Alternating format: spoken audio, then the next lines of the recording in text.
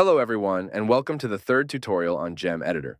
In this tutorial, we will talk about how to publish your work in the Steam Workshop, using the example of the map created in the first lesson.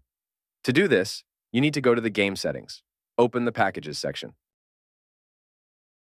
There is a package here called Tutorial that I created for our lessons.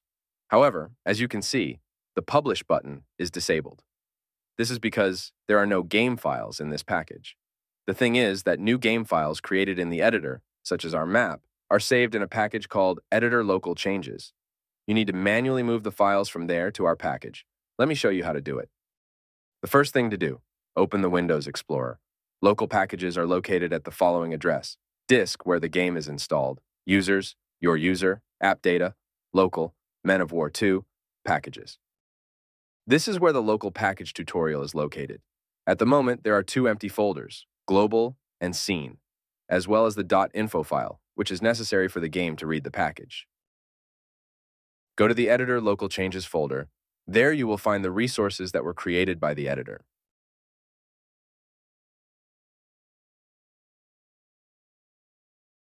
Now just move all the files to your package. Note that you should not move the .info file. And now restart the game after you have moved the files into your package. Hover over your package again, and there, now the mod can be published to the Steam Workshop. It may take up to a couple of minutes for the mod to load. Don't worry if you don't see the upload progress. That's it. Our mod has been published to the workshop. By default, it will have a hidden visibility so that you have time to prepare a description and screenshots before public access.